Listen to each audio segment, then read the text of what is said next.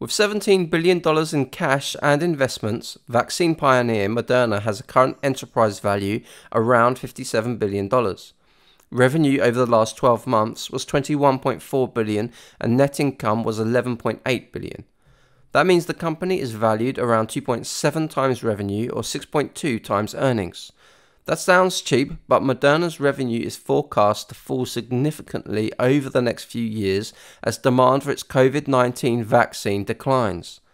According to Standard & Poor's, revenue should fall to 8 billion by 2025 and net income to around 2.5 billion. More importantly, a few weeks ago, Moderna published results of its skin cancer vaccine, which combined with immunotherapy cut the risk of recurrence or death in high risk patients by 44%. According to the Financial Times, a late stage melanoma vaccine, if successful, could add $5 billion to Moderna's top line revenue.